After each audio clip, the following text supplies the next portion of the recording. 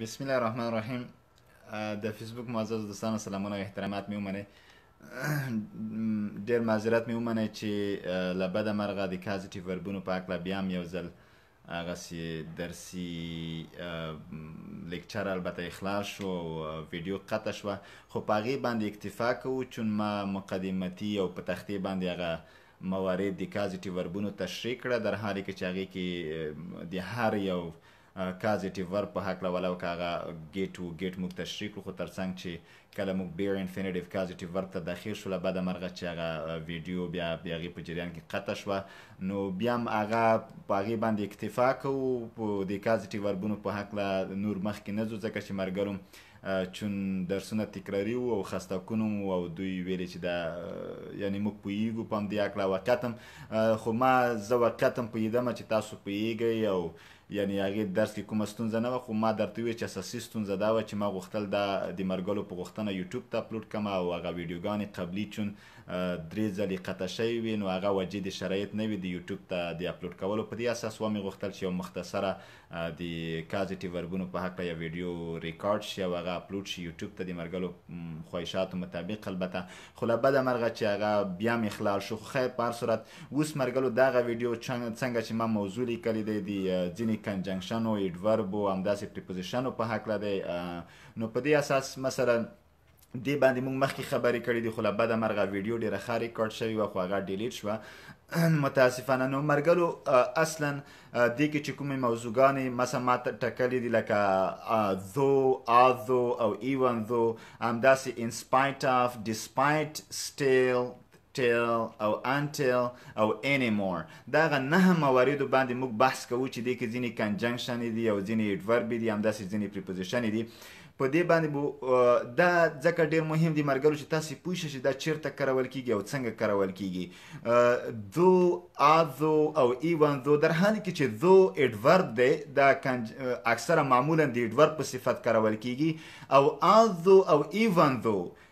دا اصلا کنجنکشنې دي خو په ایډورب کلاس کې کارول کیږي دلته مخکې یو سوی تفاهم رامنځته شوی و غواړم چې دغه خبره باید دقیقه شي چې مرګلي ځینو برداشت غلط نه وي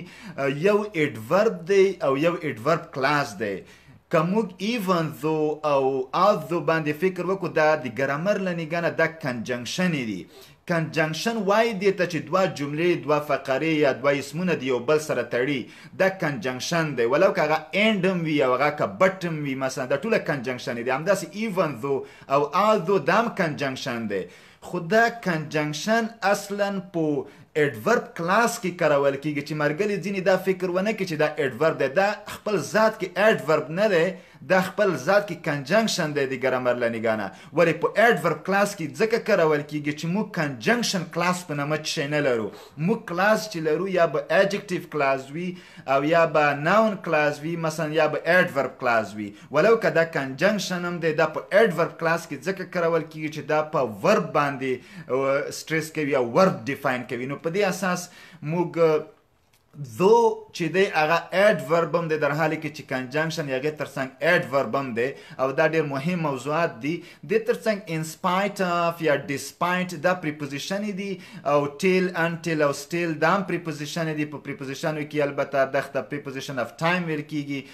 اني مورم هم ایډورب اف ټایم کیدای شي ځکه چې هغه اکثره وخت د لپاره دغه سي ځنګړی شوی دی دغه قید نو په دې اساس باندې مرګلو تاسو باید پوه شئ چې ځکه چې کلازونو په برا کې موږ مستقل بحث نه دی کړی لګه پیچیدګي بلري ځکه چې کلاز ډیر د ګرامر لنګان اهمیت لري او مهمه موضوع ده نو په دې اساس نو ایون ذو او اذو دا اصلا کنجنکشن دي ولی په ایډورب کلاس کې کارول کیږي خدای دې وکړي چې ذهن مو یو څه نه څه خلاص شوی وي کلاس موږ ناون کلاس اډجکټیو کلاس اډورب کلاس لرو نو ځکه د کنجنکشن په اډورب کلاس کې کارول کیږي نو په دې اساس باندې یعنی یو پیچیده هغه سوی تفاهم رامنځته نشي چې تاسو فکر وکړئ چې دا اډورب دی او دو دا اصلا ایډورب هم دا دی ایډورب ځکه دی چې دا کوم کنجنکشن دلته اکثره مواردو کې جملې نه سره تړي یو بل سره نو په دې اساس باندې دا ایډورب کېدای شي ځکه هغه اوس نو زه تاسو زه تختې ته کمره اړوم ځکه چې ویډیو بیا قطع نشي په دې اساس باندې موږ به ان شاء الله په دې باندې فر خبرې کوو چې فرق د ایون ذو د ذو او د آل ذو چې شی دی ان سپایټ اف ډیسپایټ چې شی دی مثلا انټل ټل او سټل چې شی دی همداسې اني مور دغه په کومو مواردو کې موږ کاروی شو ان شاء الله په دې باندې مستقل بحث کوو د په خاطر چې ویډیو بیا قطع نشي نو تاسو وخت هم نه نیسم کمره اړوم تختې ته نو زه به په دې باندې خبرې وکم په تختې باندې نن تاریخ تیار ما لیکلی دی د سپټمبر دولسم ټوډې سپټمبر 12 2019 نو مرګلو په دغه مواردو باندې اول خبرې کوو چې اول ایون دو ایون دو او دغه دی او بل چې دی هغې ته آل دو ویل کېږي آل دو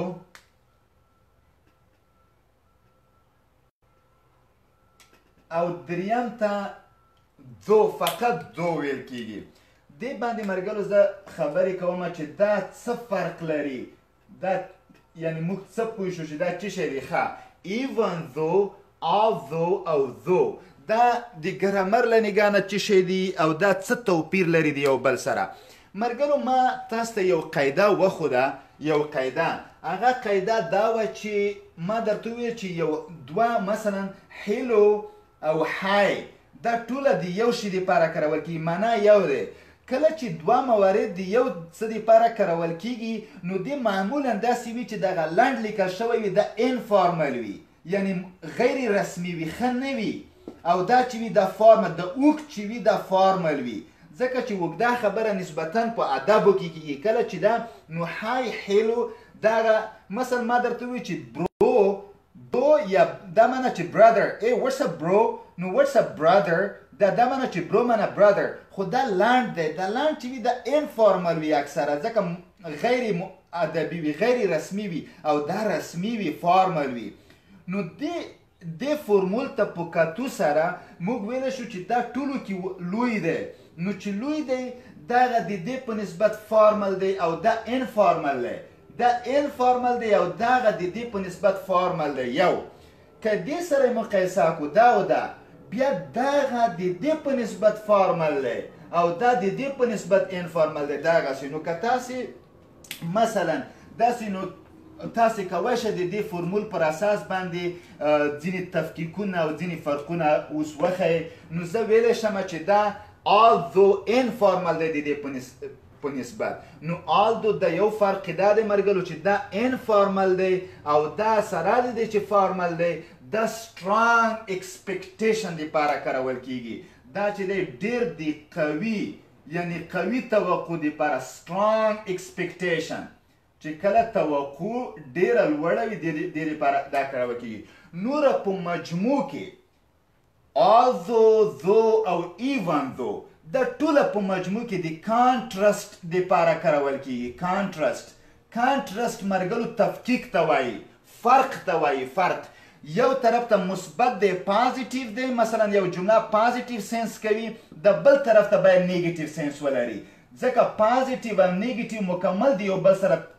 فرق لري مختلف دي مخالف دي نو دغسې کنټرسټ یعنی مخالف اړخونه باید وڅېړي یو طرف ته پازیټیو بل طرف ته نیګیټیو دا دا معنا مثلا موږ دغو ټولو د پاره په پښتو کې چې کومه معنا کاروو د آل دو ایون دو او دو د پاره موږ وایو چې سره له دې چې سره له دې چې دا پښتو معنا شو مرګلو موږ تاسو وایو سره له دې چې زه هغه سره ډېره مینه لرم، هغه له ما نه نفرت لري. وګوره، مینه مثبت اړخ دی، نفرت منفي اړخ دی. نو د although، even though او though د همداسو مطالبو نه بحث کوي چې یو طرف ته مثبت او بل طرف ته منفي. یا مثلا، هغه ډېر درس وایي، سره له دې چې هغه ډېر درس وايي، هغه ناکام شو. ګورئ، څوک چې ډېر درس وايي، دا مثبت اړخ دی او ناکامي منفي اړخ دی. نو دغه په دغو مواردو، سره له دې چې هغه ډېر درس وايي، هغه په امتحان کې ناکام شو. نو د داسې مواردو لپاره موږ ای وندو، دو او آ دو کاروای شو. هیڅ فرق نه لري ما درته وی چې آل دو چې چیرته کاروای شي ایوان دو مغلته کاروای شي خو آل دو لګ انفارمل دی دی ایوان دو په نسبت او بل دا چې ایوان دو ډیر قوي توقعات خي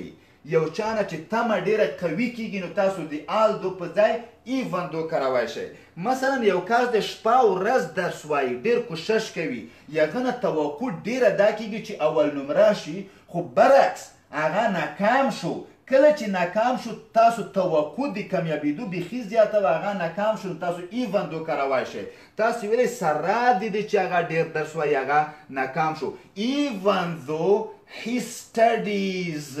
هارډ هی فیلډ د ټیسټ سره دې چې هغه سخت درس وایي خو هغه امتحان کې ناکام شو نو په دې اساس باندې تاسو ایون دو د سترانګ ایکسپیکټیشن لپاره کاروي شئ تاسو همداسې آل دو کوای شئ انفارملی although he studies hard he failed the test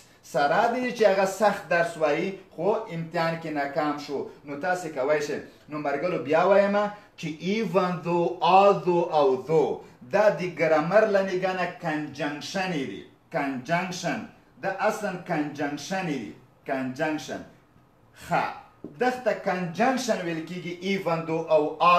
آزو ته در حاله کې چې دغه د دو د ایډورب په صفت هم کارول کیږي دا ایډورب هم کیدای شي ځکه دا دوی جملې یو بل سره نه تړي دا کنجنکشن دي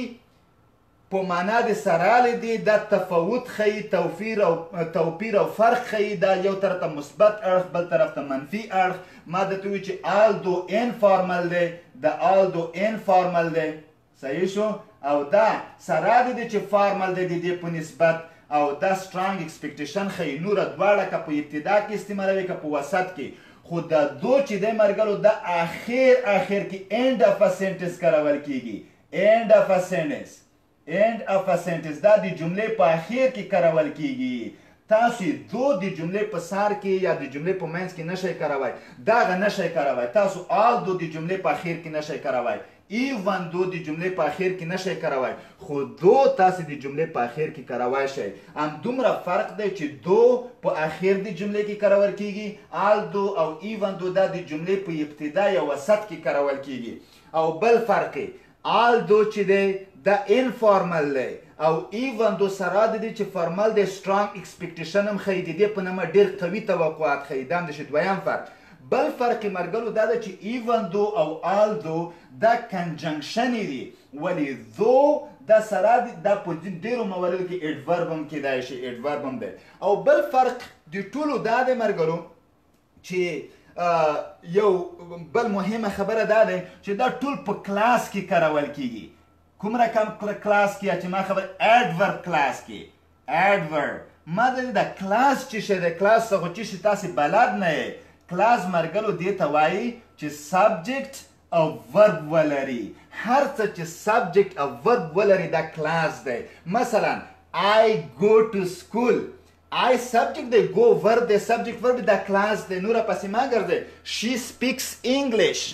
شي سپیکس انګلیش شي سبجیکټ دی او سپیکس دا ورب دی نو دغه کلاس هم ویل شو هر هر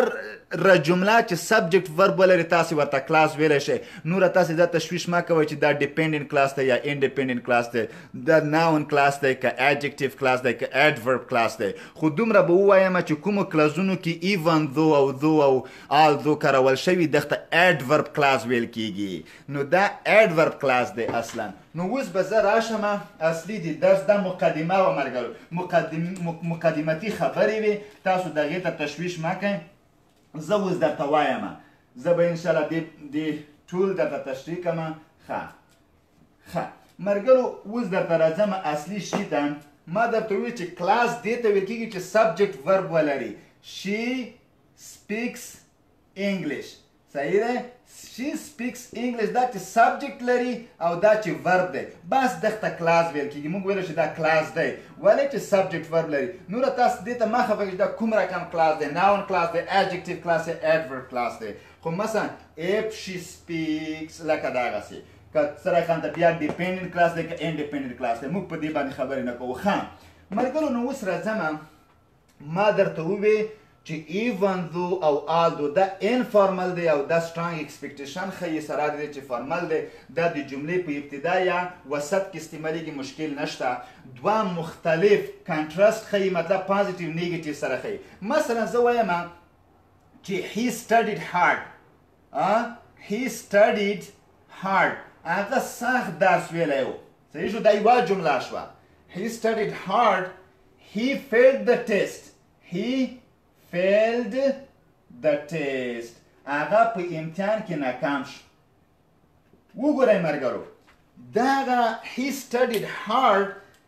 دغه یو جمله دی یعنی سبجیکټ ورب د یو کلاس دی هی فیلډ د ټی سبجیکټ ورب د بل کلاس دی خو دا هیسټری هر چې څوک زحمت وباسي هغه باید کامیاب شي دا مثبت دی پازیټیو دی دا دا چې دی دا نیگیټیو دی ځکه چې توقع داسې نه کیږي څوک چې سټډیډ هارډ کوي هغه باید توقع دا ده چې کامیاب شي برعکس کوشش یې کړی دی، ناکام شوی دی. دغسې متضادې جملې د ایون دو او آل دو په واسطه تاسې یا دو په واسطه یو ځای کوای شئ. تاسې کوای شئ چې دا دلته راولئ ایون دو زه دلته راولم ایون دو صحیح دی تاسې کوای شئ دلته وکاروئ ایون دو دا به زه هغه کومه کوچنی کومه ځکه چې جمله په دې شروع شوه په ایون دو زه چې ایون دو هی سټډیډ هارډ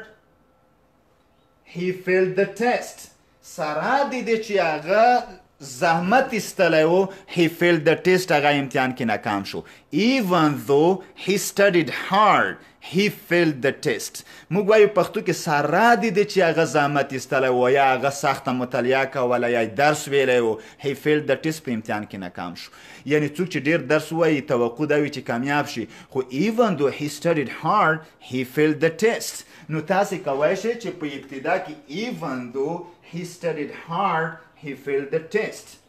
نو داسې تاسې به دلته کما اچوئ دلته کله چې تاسو ایون دو هی سټډیډ هارډ د بل کلاس چې شروع کیږي تاسې کوای شئ کما واچوئ مثلا یو بل مثال صحیح دی ایون دو ایون او بخیر چې دلته یو سپیس ورکم ایون دو I love him سره د دې چې زه یې هغه سره مینه لرم کما he hates me هغه یې مانه نفرت لري وګوره د love د هټ د متضادې کلمې دي یو بل سره کاملا متضادې دي چې متضاد دي دا په دا معنی چې دا ایون دو پوسه ایون دو آی لوف هیم سره د دې چې هغه سره زمينه لرم هی هټس می هغه معنی نفرت لري یعنی توقع خو دلته دا ده چې څوک چا سره مینه لري باید مینه ور سره ولرای شي نو ایون دو آی لوف هیم هی هټس می یا نو تاسو کوی شئ چې دی ایون دو په ځای انفورملی انفورملی آل دوم وکاروه هیڅ خبره نشته اه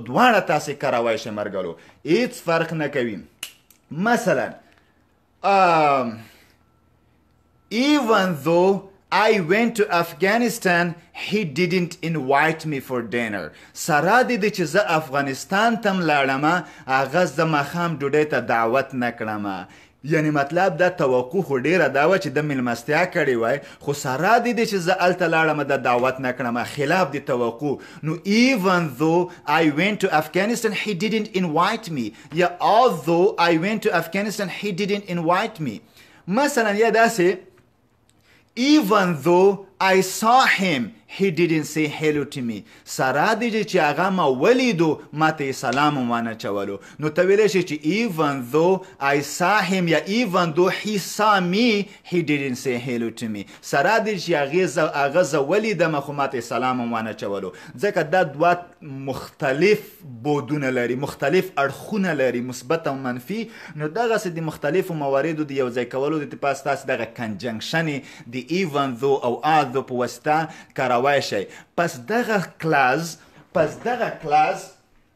دا خو ما درته وویل چې کلاز دې ته ویل کېږي چې په سبجکټ او ورب شروع ورب ولري دا سبجیکټ او دا ورب لري دا کلاس دی صحیح دی دا خپل ذات کې کنجنکشن دي خو ما درته ویل چې کوم دغه کلاس په دغه کنجنکشن شروع شي د کلاس ته بیا اډورب کلاس وایي نو اوس ویل چې دا اډورب کلاس دی ځکه کنجنکشن کلاس په نامه ګرامر کې موږ څه شی نه لرو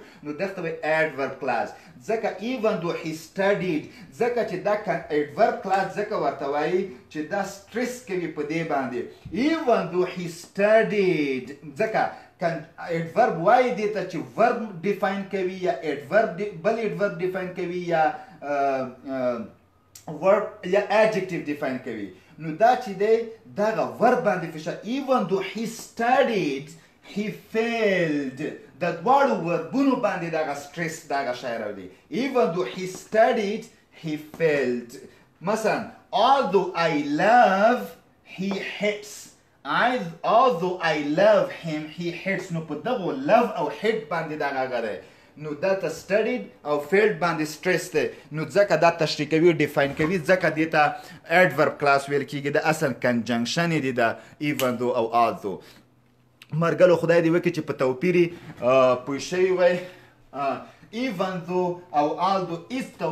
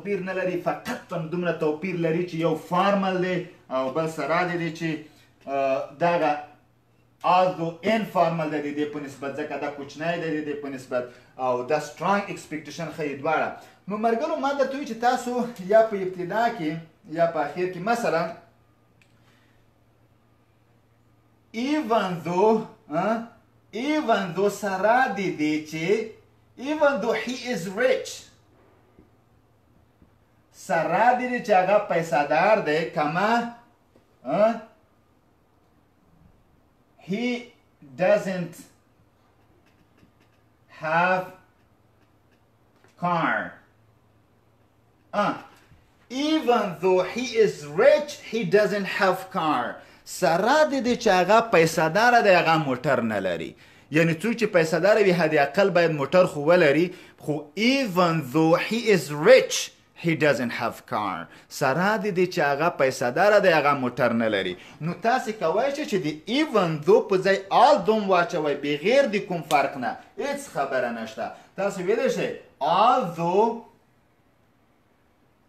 all though he is rich سره د دې چې هغه پیسه داره دی کما he doesn't have car هغه موټر نه لري ښه نو مرګلو تاسو کوای شئ چې دغه جمله سر ته راوړئ دا جمله سر دا کلاس هغه ته که هیڅ خبره نه he doesn't have car he doesn't یا به د بل مرکر استفاده کوم چې تاسو یو یو توپیر معلوم شي زه به he doesn't have car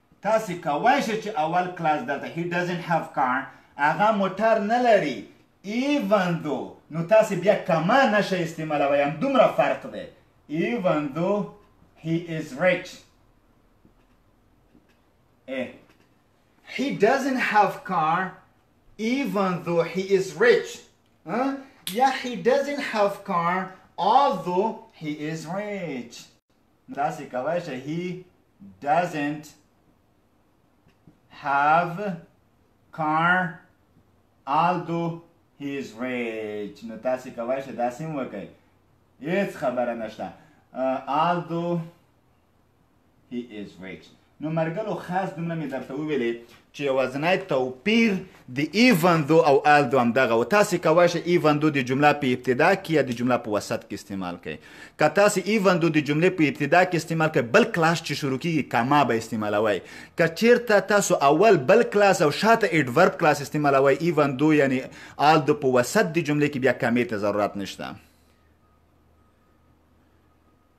مزمل صاحب تاسو وی چې زه نه وایم تاسو په ونۍ کې څو ورځې درس ورکوي چیرته ویډیو وګوره مرګلیا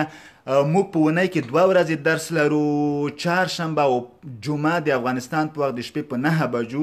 او دا ټول ریکارډ شوی ویډیوګانې ما په فیسبوک ایډي کې مشته او په یوټیوب کې مشته تاسو کوی شئ چې هغه ایون دو هی از ایل هی ډزنټ ټیک میډیسن ایکسلنت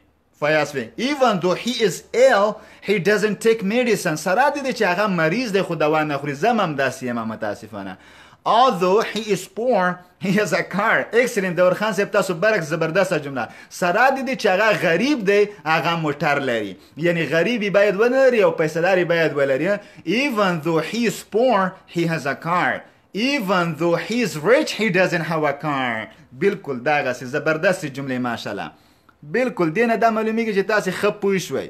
تاسو بالکل زبردست even though you teach them they don't attend to the class زبردست جمله زبردست جمله خیر دی مشکل نشته بیا به شاته وګوري ځینې مرګلي دي مصروفه دي علاقه لري د مرګلي ماشاءالله زه د دوی ما سره مسنجر کې وصل دي ډېر کلکه علاقه لري خو بس دوی دي داسې دي چې اکثره مسافر او غریبي فقر غربت ځپلي دي زه ټوله د دوی ټول مشکلات در کوم هیڅ ستونزې نشته ښه مرګرو په دې باندې خو پوه شو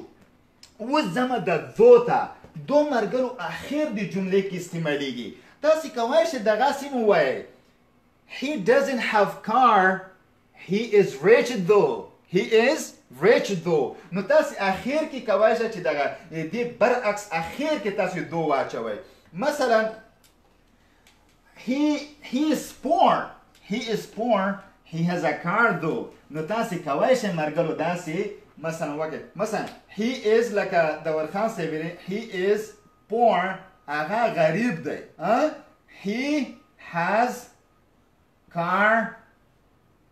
دو تاسو کوای شئ دا غسی یا دل دا غسی واچوي دلته مثلا هی هی سپور بر هی لکه هی هاس کار دو نو تاسو داسې کوای شئ د دو په اخر د جملې کې واچوي خو مرګلو فکر مو چې تاسو ایون دو او آل دو قطن په اخر د جملې کې نشئ کاروي ولی برعکس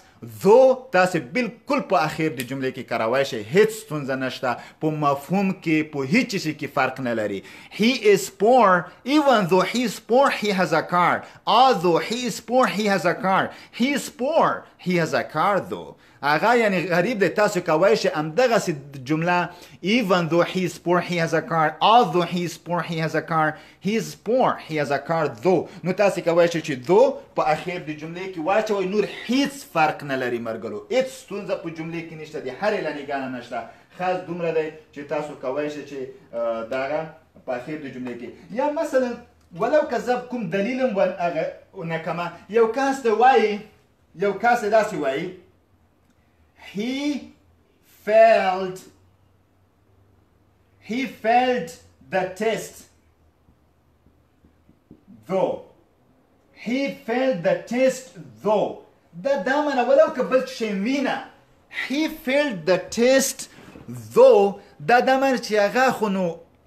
اغه اغه نو امتحان اغه نو امتحان کې ناکام شو اغه خو نو امتحان کې ناکام شو نو مې وای چې هغه خو نو په امتحان کې ناکام شو دا دا منه چې ځکه ما درته وی چې د توقع خلاف ځکه هی فیل د ټیسټ ذو ما درته چې ایون ذو ا ذو او ذو دا د داسې مواردو لپاره کارول کیږي چې یو پازیټیو اړخ ولري بل نیگیټیو یا منفي اړخ اړخ ولري د دې جملې نه تاسو باید پوه شئ چې هی فیل د ټیسټ ذو یعنی هغه خو نو نکشه دا منه چې هی سټډیډ هارد تاسو به د دغه جملې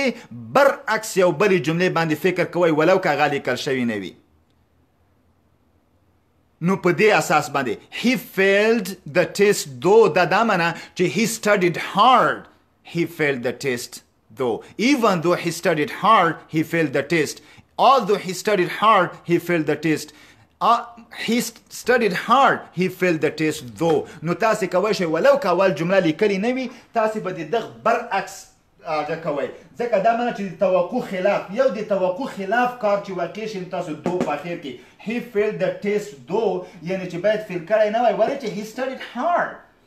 نو په دې اساس برعکس مرګلو دښته ګوره که زه دلته واچوم چې هی پاسټ د ټیسټ دو دا دا معنی چې توقع خلاف هی ډیډنټ سټډي هی پاس د ټیسټ دو دو نو مطلب دا کچیرته دو دلته راشي بیا به د پاست مو چې دلته ولیکلو تاسو هی ډیډنټ سټډي He didn't study ځکه توقع خلاف کمیاب شوی دی مطلب دا چې کمیاب به یې نه وای شوی چې نه وای شوی څه خبره وه یعنی درس یې نه دی ویلی He didn't study He passed the test though که دا فعل وي بیا هم د توقع خلاف څه معنا چې فعل وي خو درس توقع خلاف چې ناکام شوی دا معنی چې توقع خو دا وه چې کامیاب شوی دا معنی چې درس ویلی He studied hard He failed the test though He didn't study hard He passed the test though نو په دغه مورې خدای دې وکړي چې په دې خبره پوه شوی وای ځم مخکې نور درس ته مرګلو ښه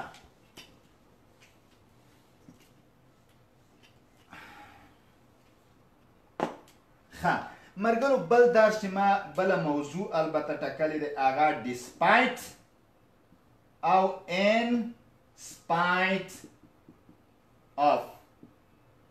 تاسو به وایئ چې د ډیسپایټ او انسپایټ اف څه معنا ډیسپایټ او انسپایټ اف دا مرګلو همدغه معنا لري لکه څنګه چې آزو ایون دو او دوی لري سره لدی چې څه معنا سره لدی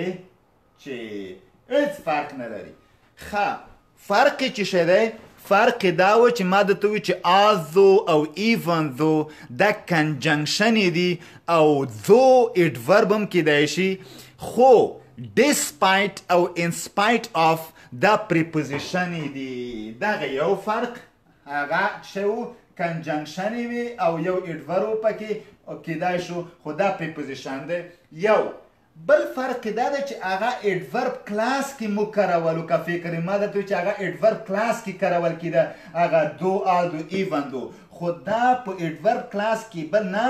بلکې دا په پریپوزیشنل فریز کې کارول کېږي چې شي کې په فریز کې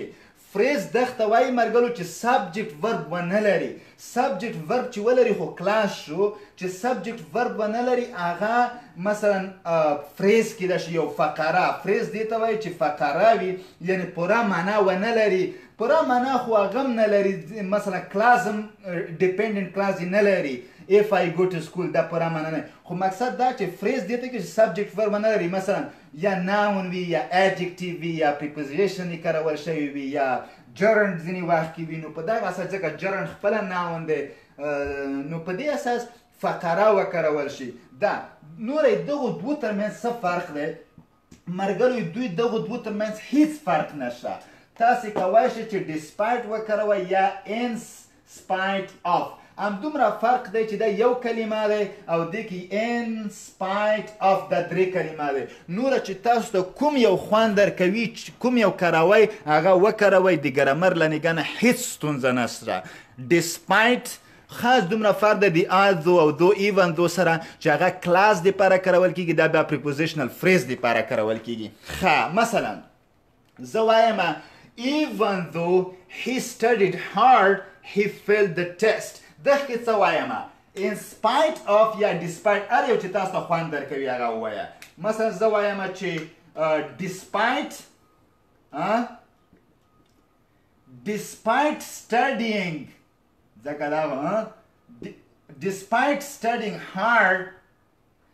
سارا د زیات درس ویلې ویلو he failed the test he failed the test هغه امتحان کې څه شو ناکام شو سره د سخت درس ویني سره د سخت مطالعه هی فیل د ټیسټ Despite studying hard, he failed the test. مخکې مو څه ویلې even though he studied hard ځکه چې سبجیکټ ورب مو استعمالول دلته سبجیکټ ورب نشو استعمالوای دلته مثلا تاسو فریز دی دا فریز دی سټډینګ هارد دا یو فریز دی هی سټډیډ هارد ا کلاس وو نو ما دوی چې آل دو ایون دو دا کلاس باید وي په دې کې باید فریز وي ډیسپایټ سټډینګ هارد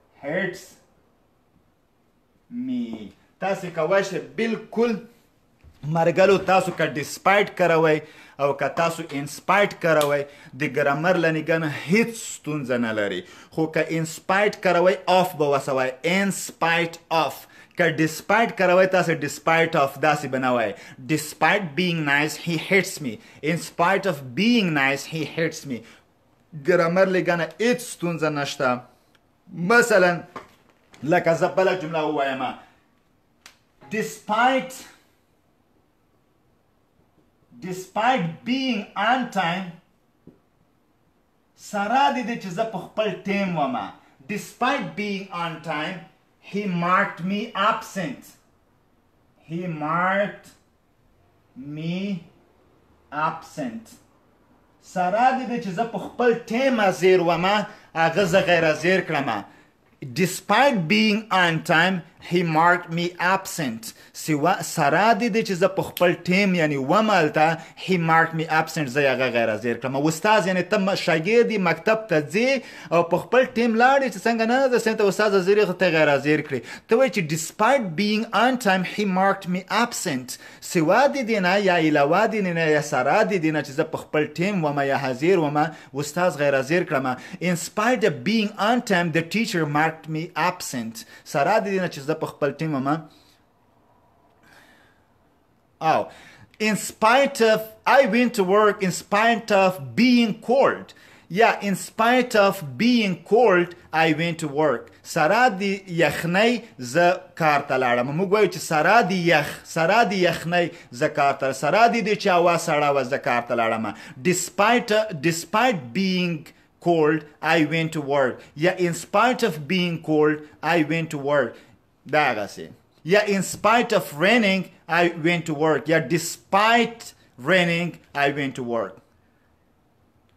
Oh, offering. I went jogging in spite of rain. Yeah, in spite of raining, I went to jogging. Bilkul, dagasi yani bilkul uh, bir sevim. Ha.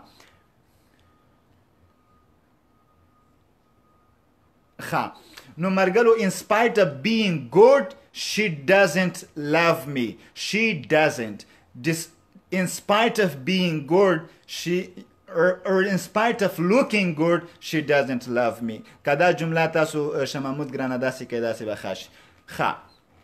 مرګلو په دې باندې پوه شوئ انشاءالله دغې کومه ستونزه نشته مخکې ځمه انشاءالله تاسو ښې جملې جوړې کړې دي دینه دا معلومیږي چې تاسو ان سپایټ اف او ډیسپایټ په توپیر باندې پوه شوئ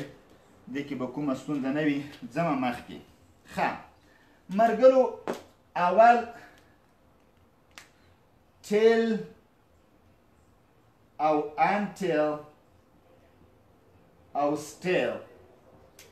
دې باندې خبرې کوم تل انتل او ستل دغه تقریبا پریپوزیشنو شکل سره کارول کیږي چې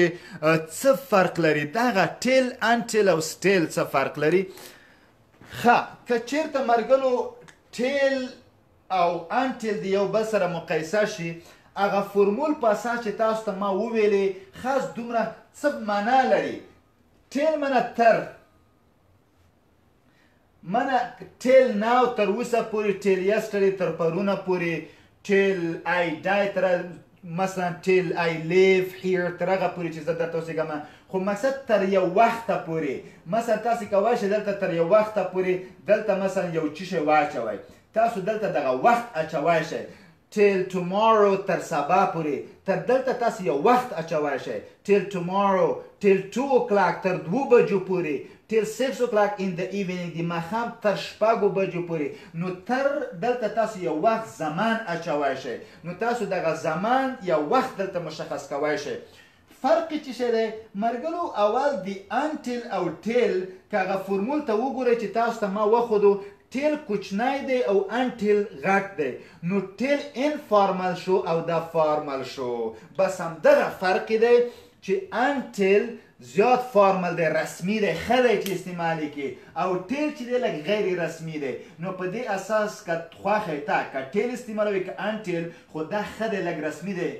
فارمل دی دا انفارمل دی ان ټیل 6 o'clock یا ټیل 6 o'clock in the morning د سهار تر شپږو بجو پورې نو ته ویلی شي ټیل ټومارو تر سبا پورې یا انټیل ټومارو یا تر سبا پورې دواړه کاروی شي په دې کې هیڅ کومه ستونزه نشته دواړه دي عین موارد او ای رقم ته استعمالیده لږ فرق لري دا درته شاته خیمه نو انټل او ټیل دا مطلب دواړه دي یو شي د پاره کارول کیږي until tomorrow تر سبا پورې until 6 o'clock مثلا نو تاسو کوی شئ چې وایئ چې until until tomorrow تر سبا پورې انټل ټومورو دا معنی تر سبا پورې یا تاسو ویلی شئ ټیل ټومورو تر سبا پورې هیڅ خبره نشته یا مثلا تاسو چې انټل 6 o'clock 6 پی ام یعنی د شپې تر شپږو بجو پورې د شپې تر شپږو بجو پورې یا ته ویلی شئ ټیل 6 مثلا پی ام د شپې تر شپږو بجو پورې هیڅ فرق نه کوي مرګرو تاسو کوی شئ ټیل 6 او کلا 6 پی ام یا انټیل 6 پی ام هیڅ فرق نه کوي تاسو کوی شئ د سره ټایم واچوي مثلا ټیل 10 پی ام د شپې تر لاسو بجو پورې انټیل مثلا ټېن پي اېم هیڅ خبره نشته تاسو انټل او ټېل دواړه کاروی شئ خو انټل فارمل دی او ټېل انفارمل دی نو ځکه ولیکم دا به انفارمل وي ځکه چې هغه دی او خاص دومره فرق دی او دا چې دی د دې په نسبت فارمل یا رسمي دی خاص اوس دا جمله مثلا I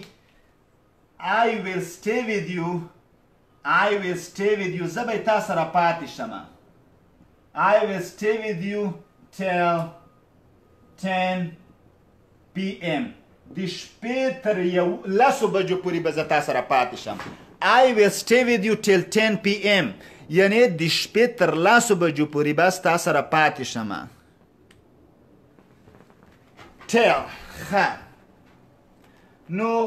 تاسو کوی شئ هی آی آی سټیټ تاسو دغه مزي کې ویل شئ سټیټ زه پاتې شوم with my friend زه مرګلي سره مې پاتې شوم ها ټیل میډنایټ تر نیمې شپې پورې یعنی څه معنا ټیل 12 پی ایم I stayed with my friend till midnight. زه مې تر نیمې شپې پورې د مرګلې سره پاتې شوم I stayed with my friend till midnight زه مې تر نیمې شپې پورې د مرګلې سره پاتې شوم till midnight یا until midnight نو تاسو دواړه مرګلو کاروای شئ هیڅ خبره نشته تاسو کوای شئ چې دواړه کوای شئ وکاروئ هیڅ خبره نشته ښه مثلا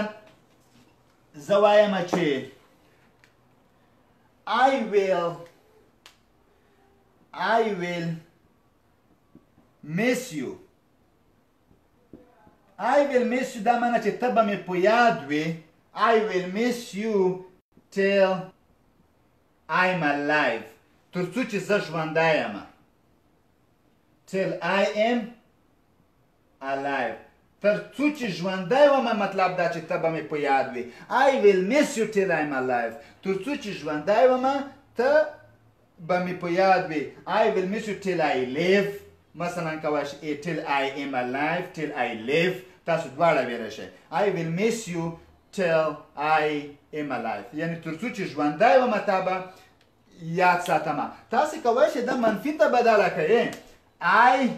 want won't miss you زه به تا بیخي یاد نه کوم till I am alive تر څو چې زه ژوندی یم تا به یاد نه کوم نو تاسو کوی شئ چې دغه مرګرو واچوئ I won't miss you till I'm alive تر څو چې ژوندی یم تا به یاد نه کړم نو تاسې کوای شئ چې اول مثبته منفي سوالیه مثلا will you miss me till you are alive آیا چې تر څو ژوندی ما به یاد کی نو مثلا تاسې کوای شئ مرګلو چې دا هر رقم ته ټیل وکاروئ ان انټیل وکاروئ uh, I am with you I am with you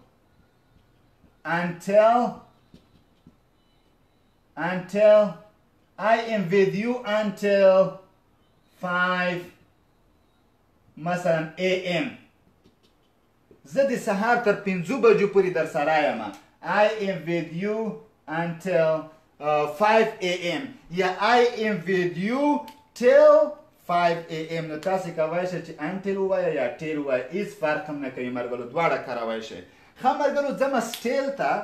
سټیل سټیل بیا لږ فرق لري مرګلو تاسو د سټیل سره بیا ټایم نشئ کاروی چې سټیل 5 o'clock سټیل دا منه چې تر اوسه پورې لږ فرق سره ټیل تقریبا دا معنی چې ټیل خپل تر اوسه پورې او د ټایم نشي کاروي ځکه تر اوسه پورې د خپل دلالت په ټایم کوي تر اوسه پورې لکه ټیل ناو انټل ناو د سټیل خو تاسو سټیل ټو کلاک سټیل دا سټیل منظم مثلا داسې هغه تر اوسه پورې زما مرګلی دی هغه تر اوسه پورې په افغانستان کې اوسېږي تاسو کوی شئ چې یو یو عمل واچوئ هغه تر اوسه یا حالت واچوئ هغه تر اوسه پورې ژوندی دی هغه تر اوسه پورې استاد دی هغه تر اوسه پورې ویده دی نو تاسو د داسې مواردو لپاره تر اوسه پورې نو بیا سټیل کاروای شئ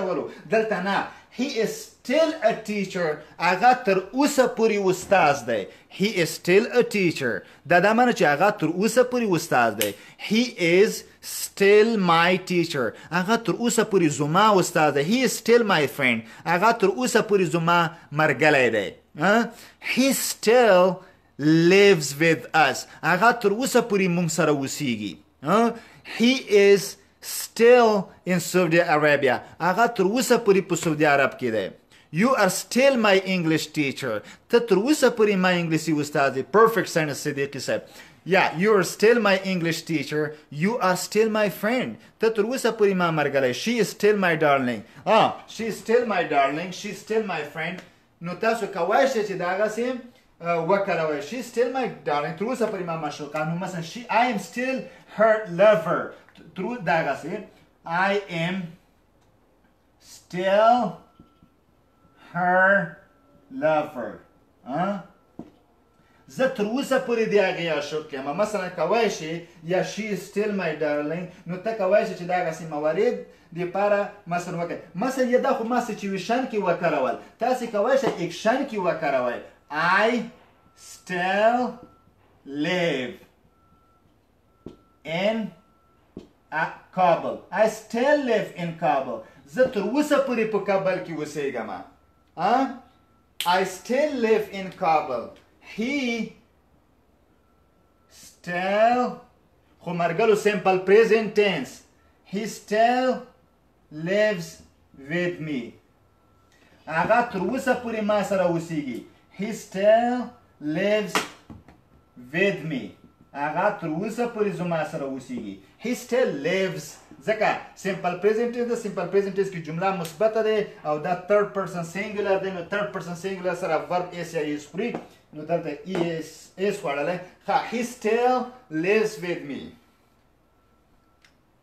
ښه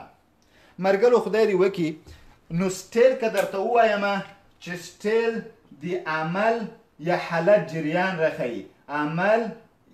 یا حالت جریان دی پاره کارول کیږي جریان د پاره کارول کیږي خدای دې وکړي چې دا ولې دا شي دا غا سټیل چې دی د عمل یا حالت جریان د پاره کارول کیږي چې مثلا لیو وسیدنه سټیل لیو آی سټیل لیو ان کابل دا د منه چې زما وسیدنه په کابل کې جریان لري آی سټیل لیو ان آی سټیل لو هیم دا معنی چې زما مینه دی هغه سره جریان لري آی سټیل لو هیم نو تر اوسه پورې وسره مینه لرم نو په دې اساس باندې تاسو کوی شئ سټیل انټیل سټیل وکاروي مرګرو اخیری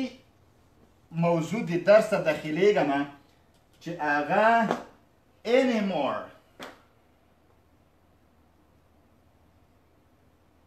ها anymore دا د معنی چې نور نه د نه نه داسې معلومیږي چې دا په منفي جمله کې کارول کیږي نور موږ وایو چې نور نه زه نور دی هغه سره مینه نه کوم نور هغه نور زما مرګلی نه دی زه په افغانستان کې نور نه اوسېږم نور یا نور نه خدا سي منفي جمله کې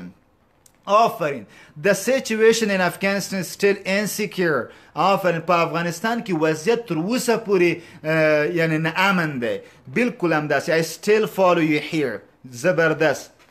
تاسو ما سره ښې جملې اوس انیمور انیمور مرګلو چې شي لپاره کوم ځای کې کارول کیږي دا په څو مواردو کې اول سیمپل پریزنټ ټینس کې کارول کیږي بل هیڅ ټینس کې ما کاروي کوم ټینس کې سمپل پریزنټ ټینس کې وکاروئ یو خبره دویم نیگیټیو سنټنس کې وکاروئ منفي جمله کې یا نیگیټیو انټراګیټیو کې چې مثلا ناټ پکې وي هغه جمله کې وکاروئ چې ناټ ولري صحیح شو نیگیټیو انټراګیټیو سنټنس یا نیگیټیو چې مقصد ناټ ولري او دریم دا چیرته مانس کې که اول کې د جملې کې اینډ اف ا سنټنس وکاروئ د جملې په اخر کې وکاروئ پس ان امور په باره کی دری خبری یاد کړئ، خاص سیمپل پریزنټ ټینس کی استفاده کړئ، په نیګیټیو یا نیګیټیو انټراګیټیو سینټس کی هغه جمله چی ناټ پکی وی هغی کی وکاروئ او ان امور اخیر دی جملی کی به کاروئ، په ابتدا او وسط کی به نه کاروئ، ان امور، نوره نه، دا معنی تاسو ایکشن او سیچویشن کی دواړو کی کاروئ شی ځکه سیمپل پریزنټ ټینس هم ایکشن ښیی هم سیچویشن ښیی څنګه I am یا I don't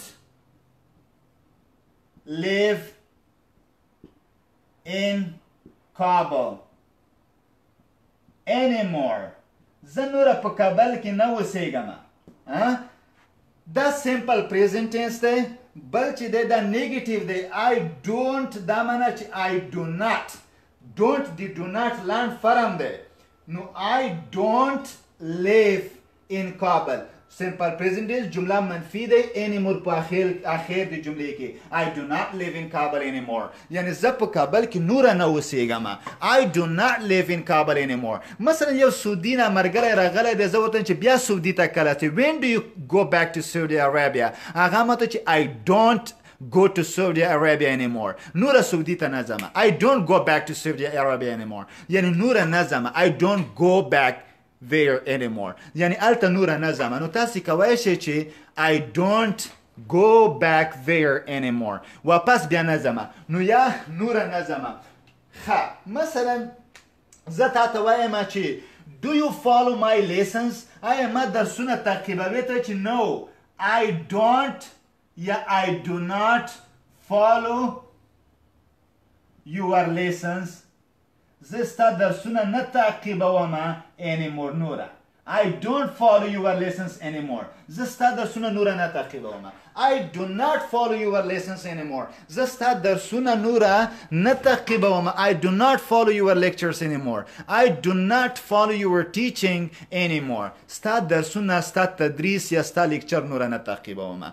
نو تاسې کوی شئ چې کله یو کار متوقف کړئ او بیا یې نه کوئ، اراده او تصمیم نه لرئ، نو تاسې Any More کاروی شئ. خو Any More همیشه په Simple Present Tense منفي جمله کې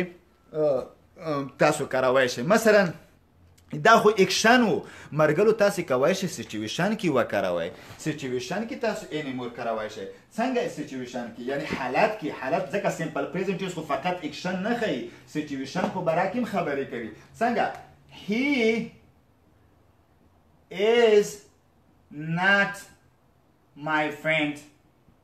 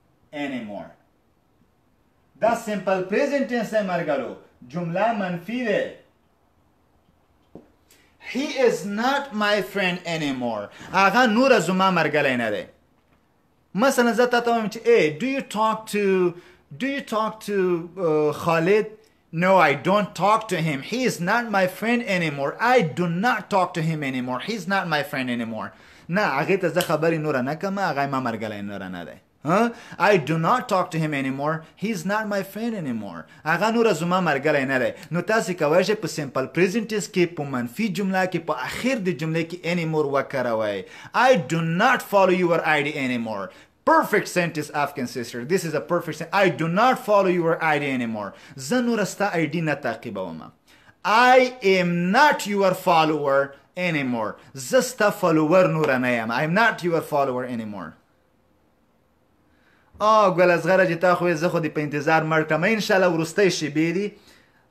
معذرت سره ان شاء الله موږ د درس په اخیری لحظاتو کې په اخیری شیبو کې ان شاء الله ډیر زر دی چې درس به خلاص شي ښه he is not my friend anymore یعنی هغه نور زما مرګره نه دی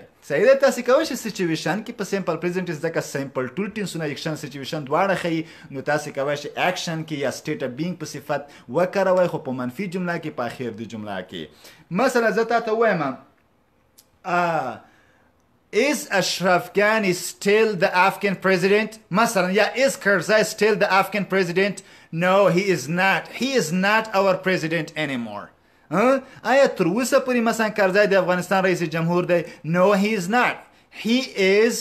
ناټ our president anymore هغه نور زموږ رئیس جمهور نه he is not our president anymore he is not my president anymore هغه نور زموږ یعنی وروز یعنی نور یعنی ورو بعد دینه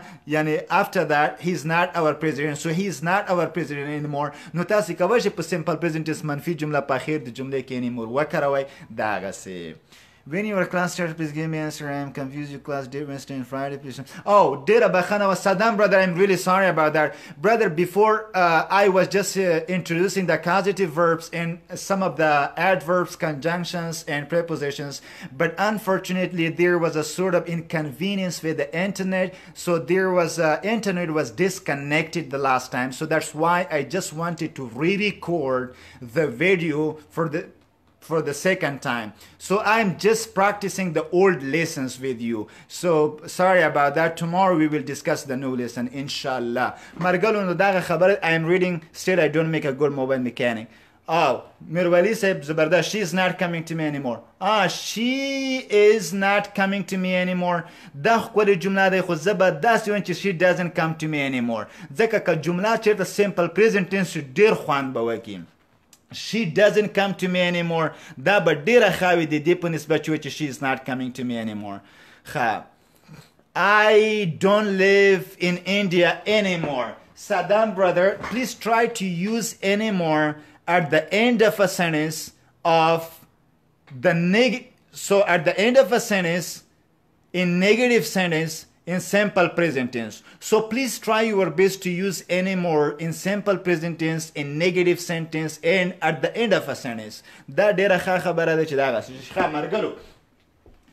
یو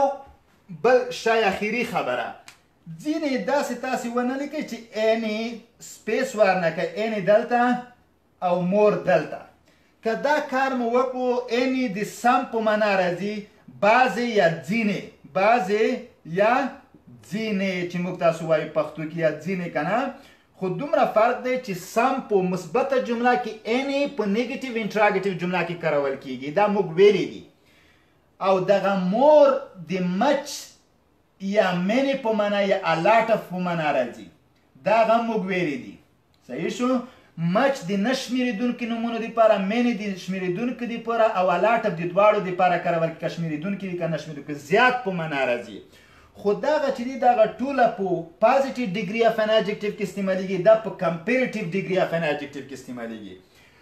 خو که ته وای any more دا دا معنی چې نور زیات څه معنی نور زیات سپیس ورنه کې مثلا زه تاته وایم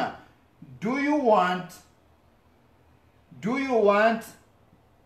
any more sugar آیا لګ نور زیاته برا درته واچم مثال do you want any more sugar یعنی نور برا غواړي لکه نور برا درته واچم do you want any more water نور زیاتې وبه غواړي نور وبه غواړي نو په دې اساس باندې any په سوالیا کې یا منفي کې کارول کیږي I do not want any more sugar زه نوره زیاته بوره نه غواړم I do not want any more water نوره زیاته اوبه نه غواړم نوره زیاتې اوبه نو دغه ځای کې any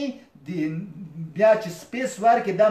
ځان ته مفهوم لري نو تاسو دغ ځای کې سپیس وار نه کوي دا یو کلمه ده بلکې دوی کلمې نه دي لکه اینی او مور دغسې دا ضرور نه وو خو دې په خاطر چې خامخا تاسو چیرته وسره مخ نشئ داسې ستونزې سره یې تاسو د پاره مې دا کار وکړو خه فکر کوم چې دغه به بس وو ځکه چې تاسو مې ستړي کړی دا د یو ساعت مخ په خلاصېدو شو ښه ښه مرګر وبخی او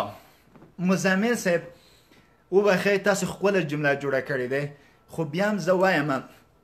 ما د اني مور په استفاده کې دریش مهمو ټکو ته اشاره وکړه یو دا و چې سیمپل پریزنټ ټینس کې استفاده کوي I am not sleeping دا سیمپل پریزنټ ټینس نه دی بلکې پریزنټ کنټینوس ټینس دی یو دویم دا چې ما درته وی چې منفي کې استفاده کوي منفي دی خاره کړی دی ایم ناټ سلیپینګ دی ویلې دی او بل می ویلې چې اخر دی جملې کې استفاده کوي تاسو ښه کار کړی اخر دی جملې کې یوازینی کار چې تی باید وکړي هغه دا ده چې پریزنت کنټینوس کې ما استفاده کوه بلکې سیمپل پریزنت ټینس کې استفاده کا یعنی دا سو چې آی ډونټ سلیپ اني مور زه نور خوب نه کوم آی ډونټ لیو وذ یو اني مور وګوره میرولی صاحب څومره ښکلې جمله جوړه کړې ده I don't live with you anymore زه نور نوره تا سره زندگی نه کوم I don't live with you anymore زه نوره تا سره ژوند نه کوم نو په دې اساس تاسو کوی شئ چې په سمپل پریزنټ ټینس کې په منفي جمله کې په اخر د جمله کې استفاده کوي دا دغسې و، نو مرګلو موږ په Even though، Although او Though دغو توپیرونو باندې خبرې وکړې، موږ په In spite of او Despite باندې دغو فرق باندې خبرې وکړې، دې تر څنګ په Still او Till او Until باندې موږ خبرې وکړې او اخیري موارد مورد البته Any more و چې موږ په خبرې وکړې، ان شاء الله دې کې کومه ستونزه نه مننه مزمل صاحب ښه. Oh, Saddam, brother, I'm really sorry about that. I promised that I will start the new lessons in WhatsApp group, and I will probably start from simple present tense, and we will discuss about that and make different sentences. But I'm really sorry for for not being able to participate the group for being too much busy. I will try my best to start teaching to you and the WhatsApp participants شورټلی ان شاء الله خانو مرګلو په دې اساس باندې درسونه البته ما یو ریکاز ټیور بغه کړو هغه بیا مې خلاص شو د مرګلو په خواهش دغه ویډیو چون داسې و چې هغه هغه وخت هغه ورځ کې درسونه اخلال شو ډیلیټ شو بخې ډیره خولي ویډیو نو تاسو دی د د انګلیسي ژبې د زده کړې د په خاطر او د تاسو د مقررو خواهشاتو غوښتنو پر اساس زه یو ځل بیا لایف راغلم چې تاسو ته دغه تیر شوی ډیلیټ شوی ویډیو موضوعات بیا ریکارډ کم نو دا د تاسو په خدمت کې متروسه نو بیا مو وازیر کې متربادي درس پوری ان شاء الله چې سبا به وي د افغانستان په وخت د شپې په 9 بجو تر هغه وخت پوری مو په لوی او مهربان خدای سپارم خو وختونه خې چاره